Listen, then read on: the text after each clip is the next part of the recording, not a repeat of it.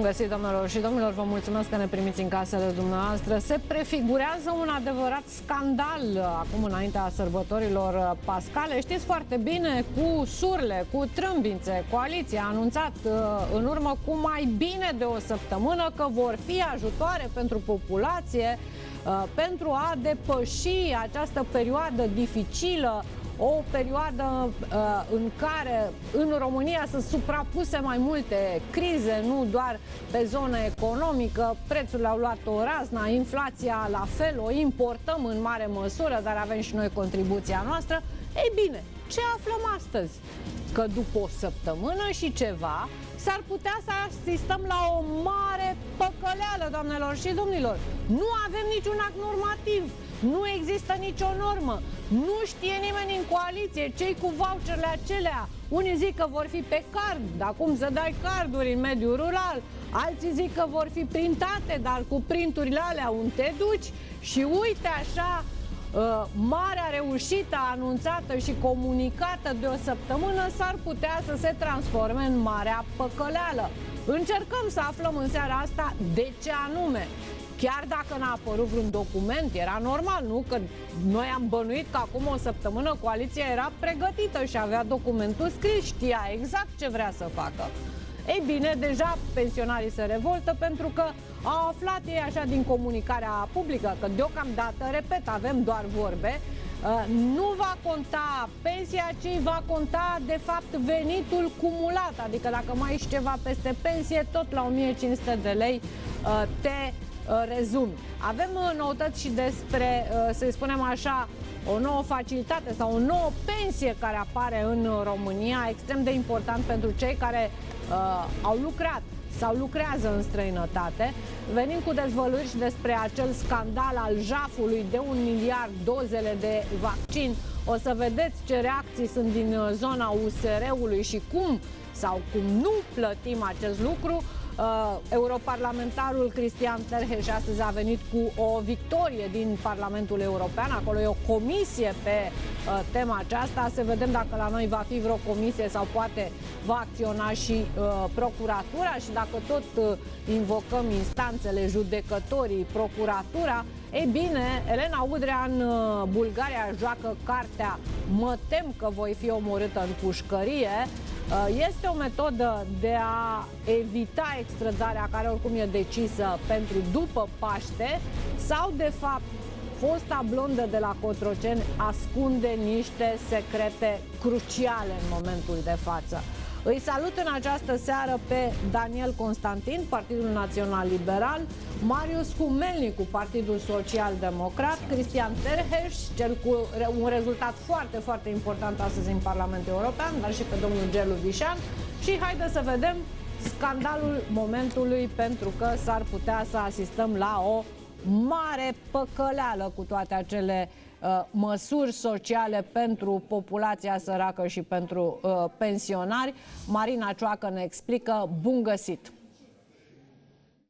Bine v-am găsit, este haos în interiorul coaliției de guvernare pe tema voucherelor de 50 de euro, dar și de 30 de euro pentru elevi. Asta pentru că la mai bine de o săptămână de când au anunțat cu mare tamtam -tam această măsură prin care românii cu venituri reduse ar urma să primească vouchere pentru a-și cumpăra alimentele de bază, ei bine nu avem nici în acest moment o lege clară unde să fie precizat că de la 1 iunie 2022 românii cu venituri reduse vor primi vouchere în valoare de 50 de euro, iar elevii vor primi vouchere în valoare de 30 de euro. Ministrii se chinuie și își pasează unul de la altul răspunderea pentru a vedea în ce formă vor acorda aceste vouchere, că le vor acorda pe hârtie sau în format electronic pe card. Însă, înainte să stabilească acest lucru, ministrii ar trebui să stabilească legea prin care ar urma să fie acordate aceste vouchere. Până acum avem doar promisiuni frumoase de la ministrul muncii, Marius Budăi,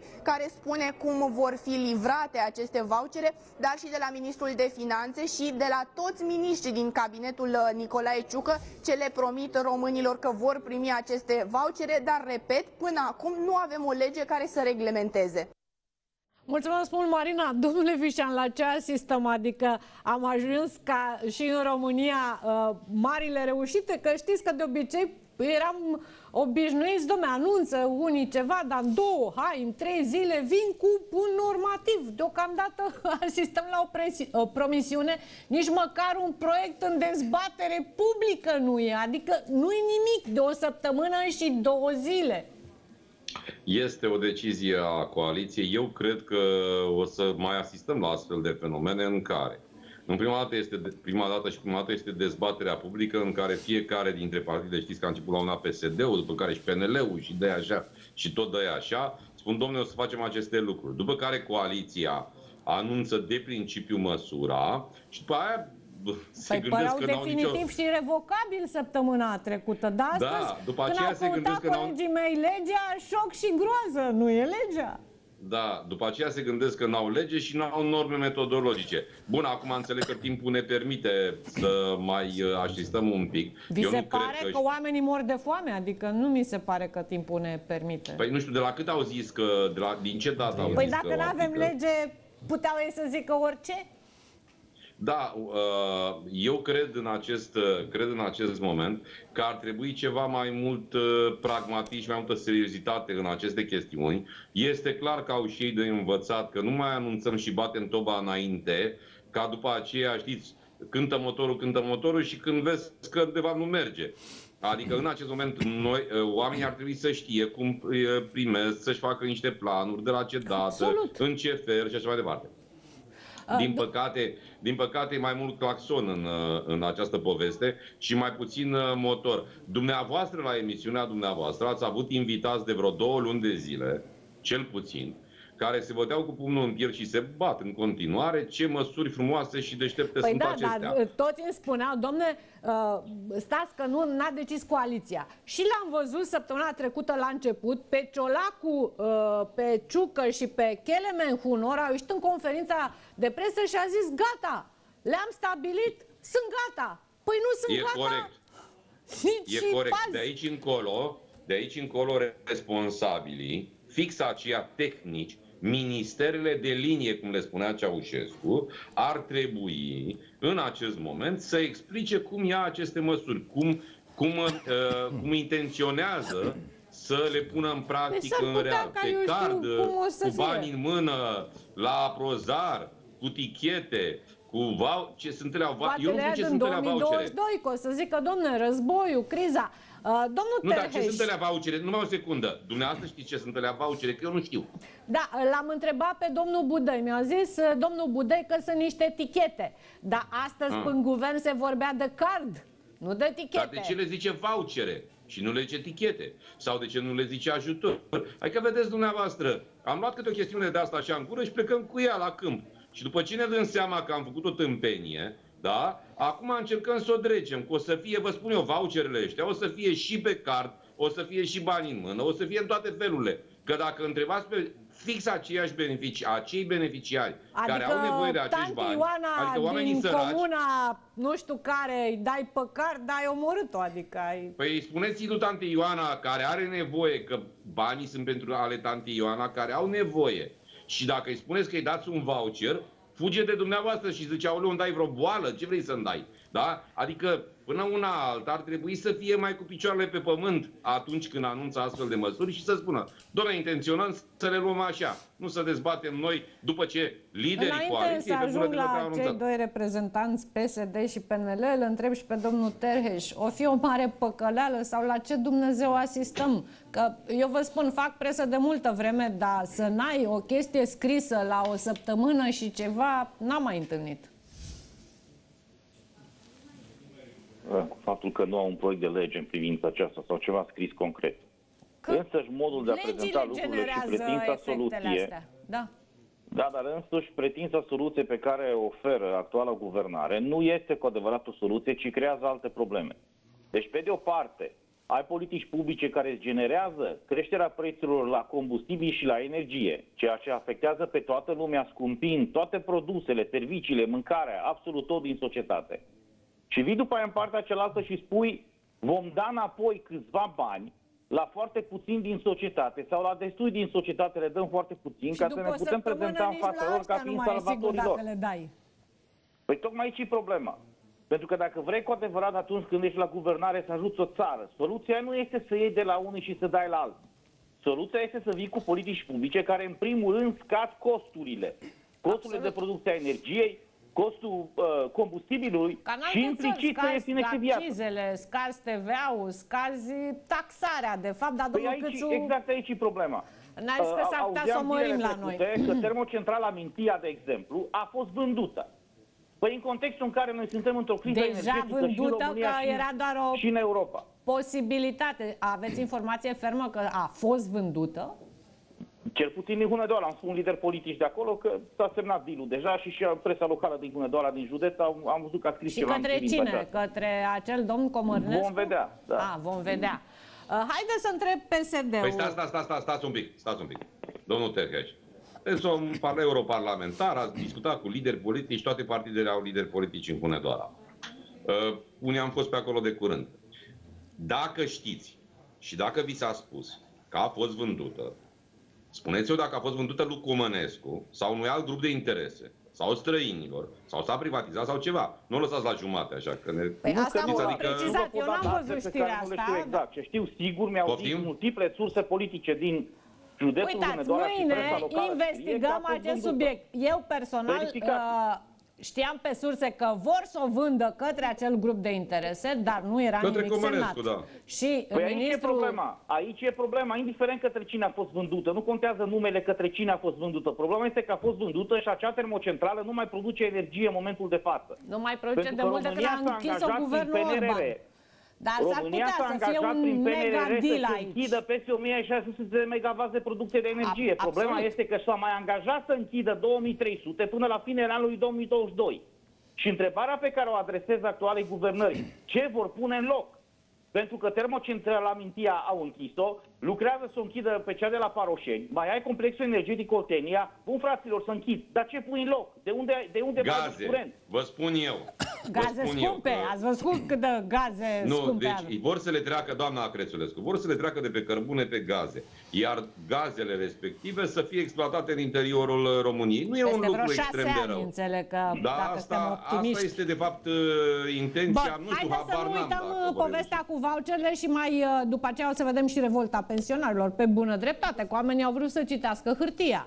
Uh, domnul Humelnicu de la PSD prima dată, de ce n-ați făcut, domnule, într-o săptămână și ceva legea? Nu știe nimeni să scrie în PSD legi? Că așa n-ai PSD-ul, 90% din măsurile astea sunt PSD-iste. M-am gândit că au și scritorii de legi.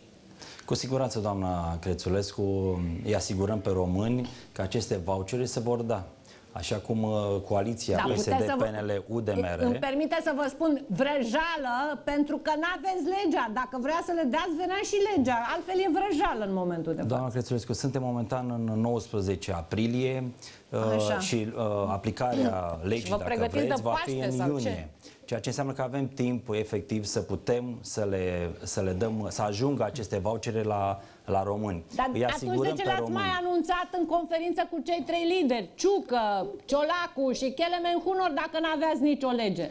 Pentru că acest pachet este uh, mult mai vast, în sensul în care sprijin pentru România înseamnă atât voucherele pe care le dăm, da, de 50, de 30 de euro, sunt și măsuri economice de sprijin a economiei și românești. Și astea le-ați dat? Și nu le-ați dat nici pe astea. Cu siguranță, să știți, am luat măsuri uh, astfel încât cele legate de uh, salariu minim brut. În, nu, nu, în, în ordonanța de urgență a fost salariu minim de 3.000 de lei pentru agricultori, cât și pentru a, uh, aici era procesatori. La Noastră știți măcar cât e salariul până agricultură de la făcut 3.000 de lei, deci ei oricum nu iau mai mult de 1.000 de lei la negru sau la alt. Bun. Cel puțin l-am făcut minim și ceea ce înseamnă și ceea ce trebuie să, v-am spus, să, să seama, spunem românilor. Se relansează este România faptul, cu 3.000 de lei va, salariu în agricultură. Uh, PNL-ul are vreo explicație de ce nu avem o lege după o săptămână și ceva, dacă tot au zi, ați ieșit uh, cu aceste măsuri? Eu pot să vă spun că, așa cum ați văzut până acum, premierul Ciucă nu a vorbit vreodată ceva, nu a spus și sunt câteva luni de zile, cinci luni de zile, de când conduce guvernul, nu a vorbit vreodată ceva să nu se întâmple. Această măsură, așa cum spunea și colegul meu, va intra în vigoare cu certitudine la 1 iunie. Până atunci se analizează foarte clar care este forma, dacă se va da sub forma unui cec, dacă se va da... Voucherul înseamnă că uh, cei care sunt beneficiari, și aici vreau să vă spun că nu sunt puțini, sunt 4,7 milioane de români. Acum nu spun asta cu satisfacție, o spun din păcate... milioane de uh, români așteaptă să vadă dacă i-ați păcălit sau nu. Cu siguranță pot să vă spun că nu este niciun fel de păcăleală. Sigur că există uh, aceste formalități. De asta, dacă aveam totul pregătit, probabil premierul Ciucă a anunțat, domnule, intră în vigoare de la 1 mai. Uh, se analizează, trebuie să probabil s-au identificat, există o decizie, s-au identificat sursele legea? bugetare. De ce nu aveți legea? legea? Încă o dată, Vom vedea care este formula. Nu știu exact dacă trebuie păi hotărâre de guvern sau trebuie vedea? ordonanță de urgență. Cu siguranță este o decizie politică asumată de o majoritate parlamentară PSD, PNL, UDMR și ea va fi implementată.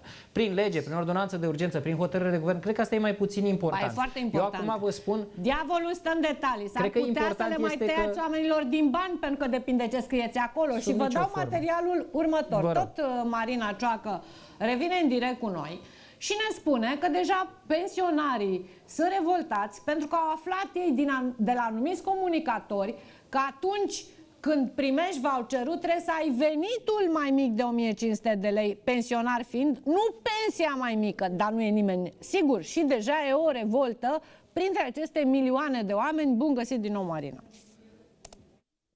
Bine v-am găsit, este revoltă printre pensionarii din România din cauza acelor vouchere de 50 de euro promise odată la două luni pentru a-și cumpăra alimentele de bază. Ei bine, pensionarii au aflat că vor primi acele vouchere doar cei ce au un venit lunar cumulat sub 1500 de lei, ceea ce înseamnă că aici nu intră doar venitul din pensie, așa cum credeau inițial, ci toate veniturile pe care le încasează un pensionar din România într-o lună de zile.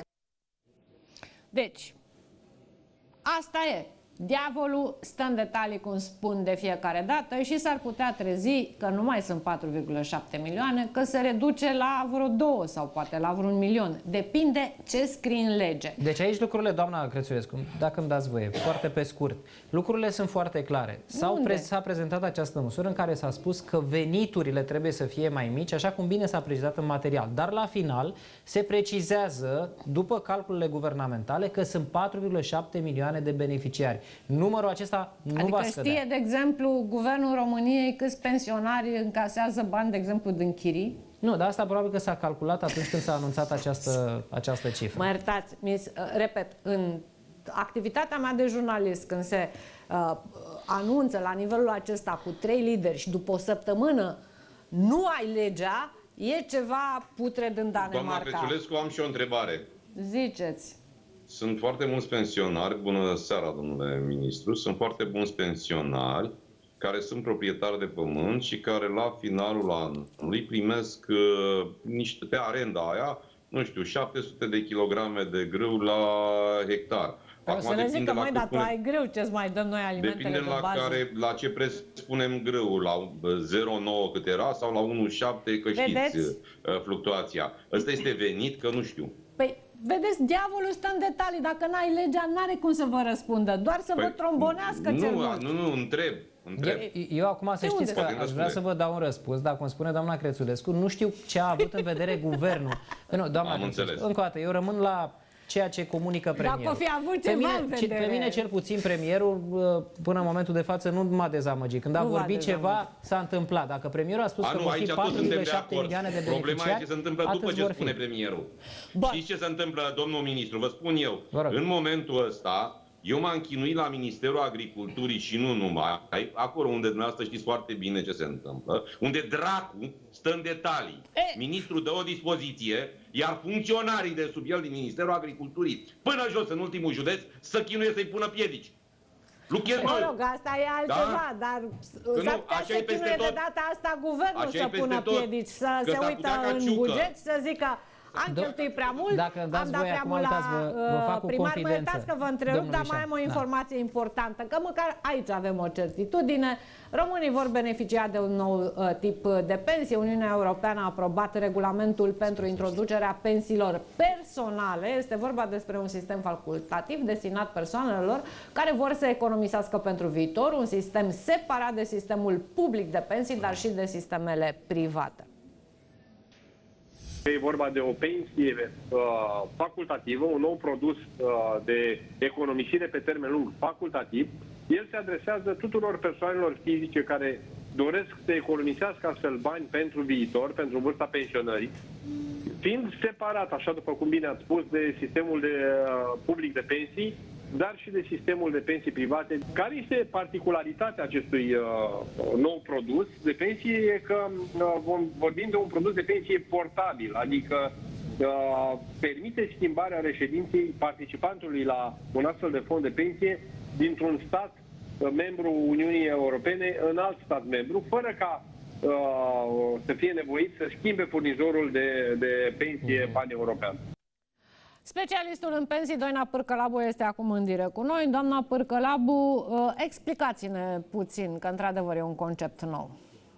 Uh, bună seara! Uh, noi discutăm de reformarea sistemului de pensii și am reglementat în România, pe lângă componenta privată, sistemul public, acela pe care îl cunoaște toată lumea și despre care tot discutăm, pensiile private obligatorii, pilonul 2, în care se constituie prin deducerea celor 3,75 puncte procentuale din contribuția de 25% plătită pentru pensii.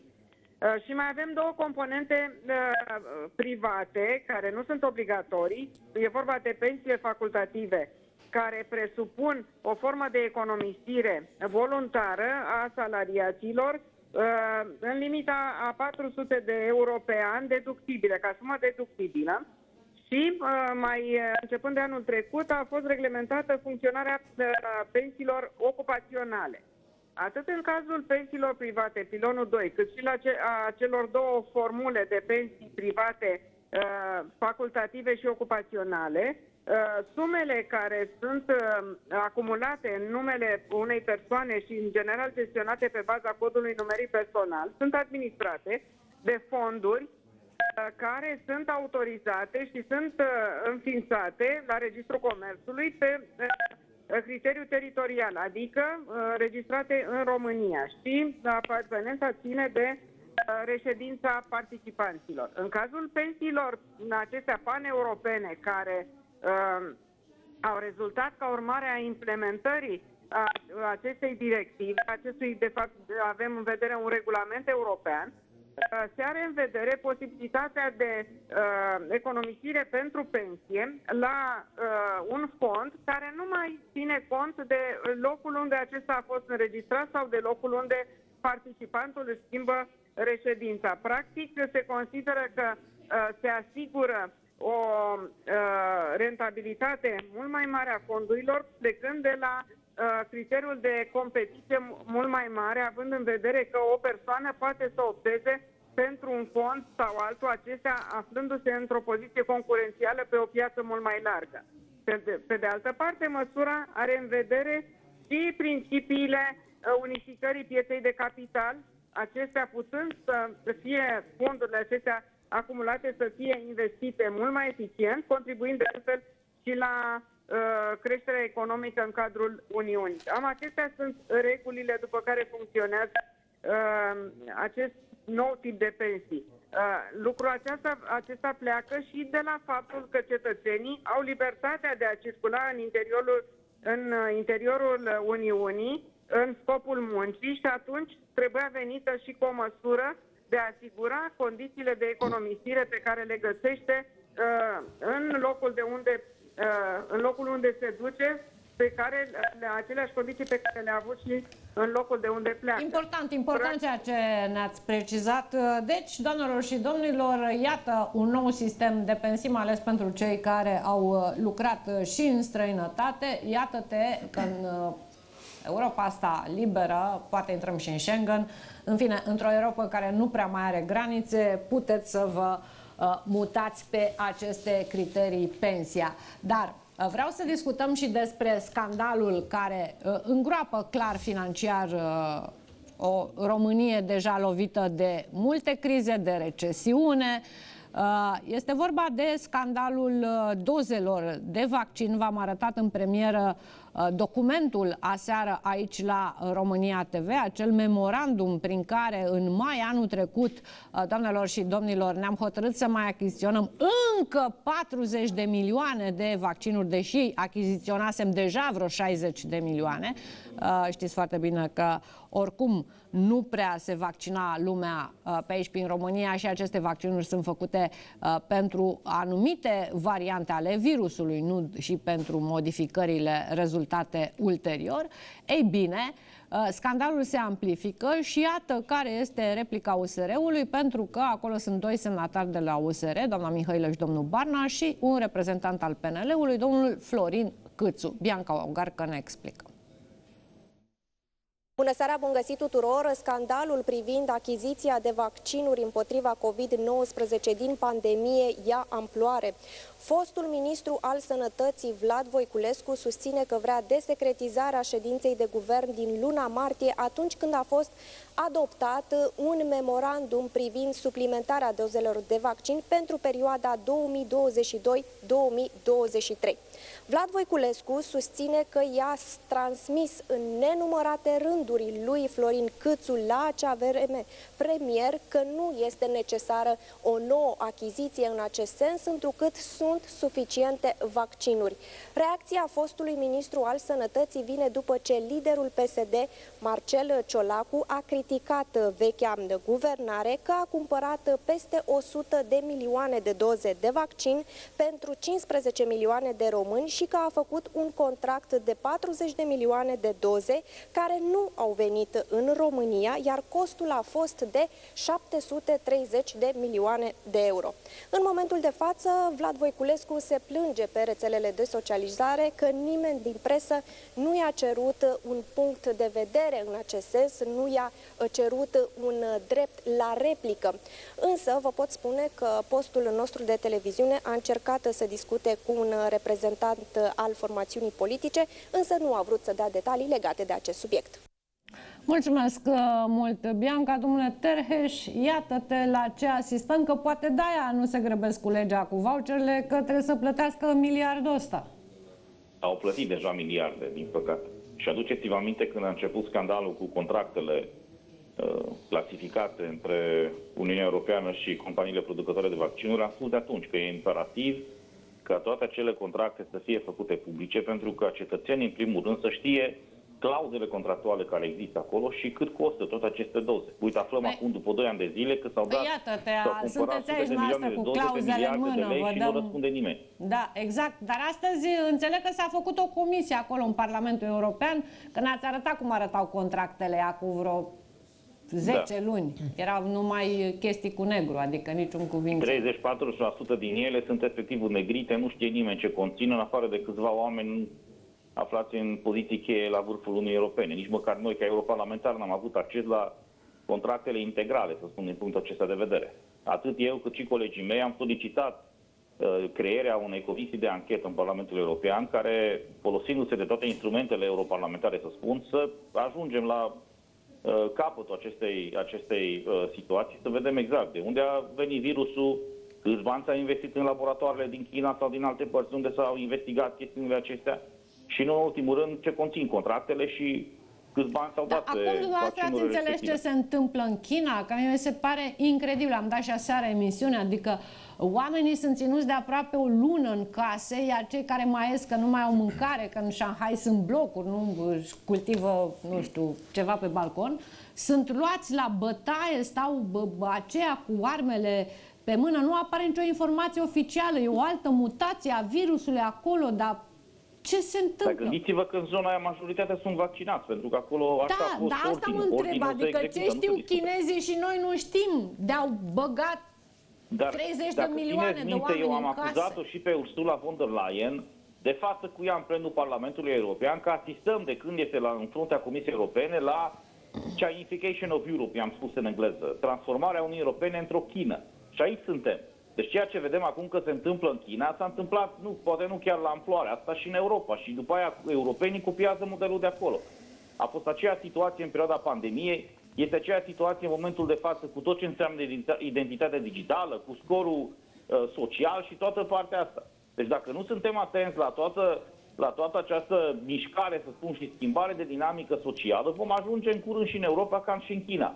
Ori aici problema în discuție nu mai ține de stânga, de dreapta, de PSD sau de PNL. Întrebarea este simplă. Dorim să trăim ca oameni liberi într-o Europa liberă sau dorim să trăim cu, ați văzut, cum îi țineau pe ea în Shanghai cu uh, lesă, efectiv. Dacă ieșea unul din casă, îi puneau lesă să nu fugă. Deci așa ceva aveți imagini de genul la impresia că, nu știu, trăim într-o altă lume și din păcate pare a fi noua normă și noua normalitate în lumea asta nebună în care trăim. Întorcându-ne la memorandum, vreau să-l întreb și pe domnul Humelicu. Păi, după spusele lui Vlad Voiculescu de astăzi, foarte supărat așa, înțelegem că USR-ul s-ar fi opus și atunci singurul vinovat e Câțu. De fiecare dată, să știți, USR-ul a spus că nu e vina lui, ci a primului ministru. Să știți că atunci când, când ești într-o, ai o funcție publică de ministru, trebuie să-ți asumi. Și atunci când semnezi un act, înseamnă că Mihail ți l-ai asumat. a semnat, nu el, da. Da, da bine. Iar ideea Lumea zice că, că ar fi așa un fel de șef al lui Mihail. Nimeni nu poate să, ați văzut că nimeni nu poate să explice acum de la USR cum de-am semnat acel memorandum, pentru că noi am obligat statul român vremelnic acei miniștri au fost, da, că e Voiculescu, că e Mihailă sau că e Barna, au obligat statul român să plătească acest lucru, pentru că trebuie să Un avem miliard. memorie instituțională pe care noi nu avem. Știți că toate au... măsurile astea ale dumneavoastră pe care nu le-ați trecut încă într-o lege, ceea ce mi se pare mai mult decât dubios, tot un miliard costă? Păi dacă aveai și miliardul ăla, aveați două miliarde acum.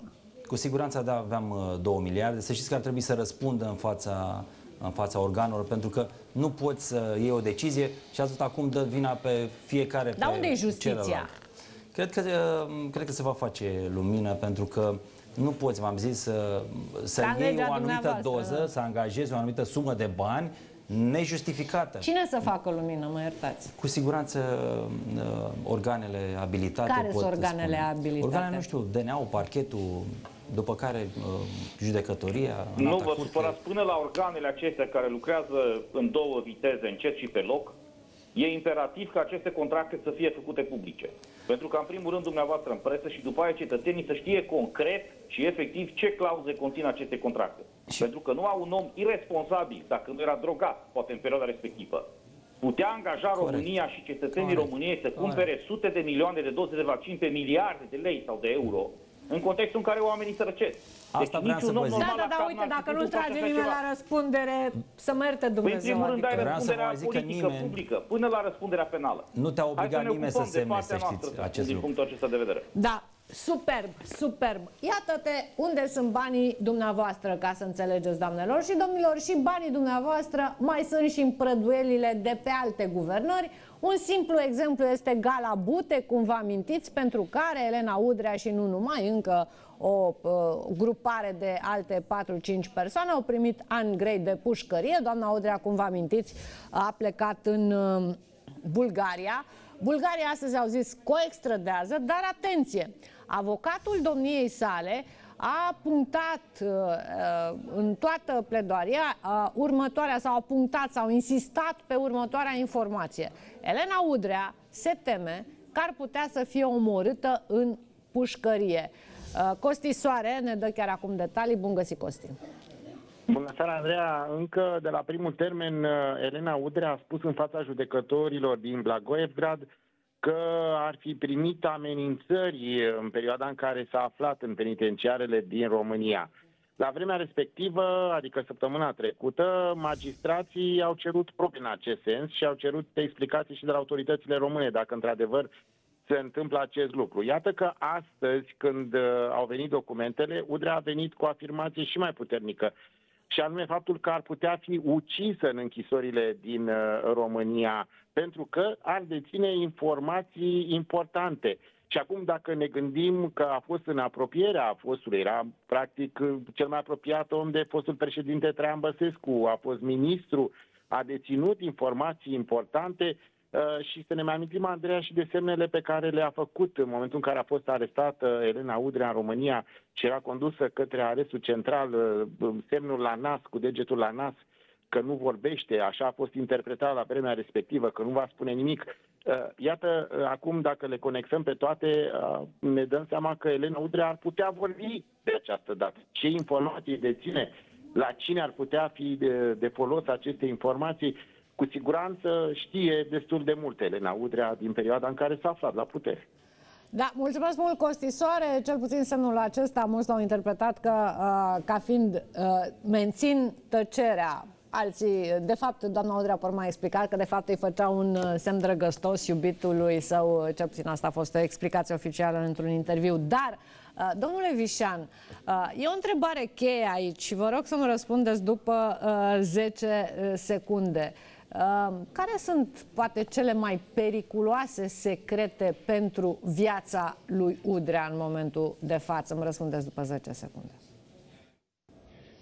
Așadar, domnule Vișan, care sunt cele mai periculoase secrete pe care le știe Udrea și care ar putea, într-adevăr, să ducă cu gândul la o posibilă suprimare a sa? Da, înainte de a vă răspunde, vreau să spun cu toată responsabilitatea public că eu știu cinci cazuri, trei reușite de asasinate în închisorile românești în ultima vreme, două nereușite, la amândouă nereușite le-am participat și eu. Ca să încep cu reușitele... Bănuiesc că nu ca asasin. A, aveți grijă la exprimare. Ați protejat. Nu, la nereușitele A, unor la nereușitele. asasinate. Asta nu, la nereușitele unor asasinate, uh, pentru că am spus public anumite informații care mi-au fost cerute de ce, să le spun de cei, către, de cei care erau în închisoare, uh, le-am spus public și oamenii au scăpat. Uh, Reușitele, spun doar două dintre ele, al treilea nume în rezervă, spun doar funcția. Primul asasinat a fost un ofițer al Serviciului Român de Informații, al doilea a fost domnul Adamescu, al treilea a fost domnul Mustață, asasinate. Celelalte două tentative de asasinat, uh, una a fost a unui șef al Departamentului General Anticorupție dintr-un anumit județ, căruia i s-au dat pastile Uh, vreo 10 odată și l-a scăpat un procuror general în arestul poliției Câmpina, v-am spus și județul și personajul. Am vorbit la dumneavoastră la România TV eu despre această încercare de asasinat, după care a venit personajul respectiv și a spus la dumneavoastră în emisiune uh, declara nevinovat omul până la final, cum a fost încercarea de asasinat, iar uh, o altă uh, încercare de asasinat a fost a domnului Dragomir, care de asemenea, la momentul respectiv, Dragomir, cel care e fugit acum din țară, care de asemenea, la momentul respectiv, pentru a se proteja, a transmis public anumite da, informații pe care aveau niște deținea. secrete pentru care erau uh, asasinați. Dacă ne referim la cazul Adamescu, sinucidere, tot din zona finanțării campaniilor uh, Traian Băsescu și așa mai Ce departe. sinucidere? N-a fost nicio sinucidere, a murit în închisoare. A murit okay. în închisoare prin lipsa medicamentației. N-a fost nicio sinucidere la Adamescu, ferească Dumnezeu. Dar da. acum vă spun, a fost asasinat. Acum vă spun ceva. Și Ei, dar de ce ar fi Udrea, pe, de ce a nu, presupus de cine? Udrea vă că ar de către fi cine? În, pe lista asta? Păi vă spun de către cine. Prima dată vă spun că ea a primit amenințări când a fost la Târșor, amenințări cu moartea grave, amenințări pe o scrisoare care Ei, a devenit la momentul semnul. Ce să mă, de ce Lăsați să semnul. Lăsați semnul, da, că cu semnul da. e altceva. Da, vă rog. Doamna Crețulescu, uh, se știe cine sunt uh, cei care au furat bani uh, uh, cu valizele prin uh, vămile de la... Uh, am, am o rugăminte la noastră. Vă rog. Uh, să spuneți dacă am dovezi înainte. Dacă aveți dovezi. Avea. Da, da, bun, m-ați întrebat. Deci, se știe în acest moment, în anumite cercuri, și doamna Udrea și mulți alții știu, cum s-au furat banii de către oameni din instituțiile statului de la acea vreme, Serviciul Român de Informații și Procuratură, și unde au fost duși acești bani cu valize, uh, iar în oamenii aceia nu vor că. În ce perioadă? În perioada Coldea Chioveșii. Coldea Chioveși, în perioada uh-huh, aceea. Deci uh-huh, ziceți că uh-huh. pentru asta Aceeași ar perioadă, aceeași perioadă, nu, de atunci, da? Gândiți-vă și doamna că... Udrea în perioada aia cam cât a furat? Aici la Galabute cam 900 de mii de euro, au zis procurorii și au dat 6 ani din pușcărie. Nu, aici să știți că, aici să știți că doamna Udrea, nu, în momentul ăsta, ă, nu despre asta discutăm, ci despre rejudecarea unui proces. Doamna Udrea fiind singura din această țară, și asta nu vă, spune, nu vă pune semne de întrebare, căreia i s-a refuzat rejudecarea de către un complet care, același tip de complet, a admis rejudecarea tuturor cazurilor similare doamnei Udrea. Cu o singură excepție, Elena Udrea. Asta nu vă spune nimic apropo de cine și ce a furat, Poate că, e un semn de, de întrebare aici, vă dau dreptate. Păi nu, e un iar al doilea semn de întrebare vi-l spun eu. De ce acela care, e simplu, de ce acela care spune că a luat valiza, nu spune niciodată, da, niciodată, sau cel care a dat valiza cu bani 900.000 de euro, nu spune niciodată, niciunul dintre ei, că valiza uh, s-ar fi dus către doamna Udrea, ci către George Anastasia. Vedeți dumneavoastră, doamna Crețulescu, când vrem să limităm lupta anticorupție la o singură victimă, sau la o singură vinovată, mai bine zis. Pentru că lupta anticorupție din uh, perioada aceea se reduce. Berceanu, Blaga, Videanu, toată lumea e liniștită, bine, mulțumesc frumos, toată lumea e ok, toată lumea e acasă, doar Elena Udrea e cea vinovată. Și când de 10 ani de zile, hoața, hoața, hoața, hoața, hoața, hoața, hoața, e, cum e asta? Cum vine asta într-o societate care spune că se bate cu corupția?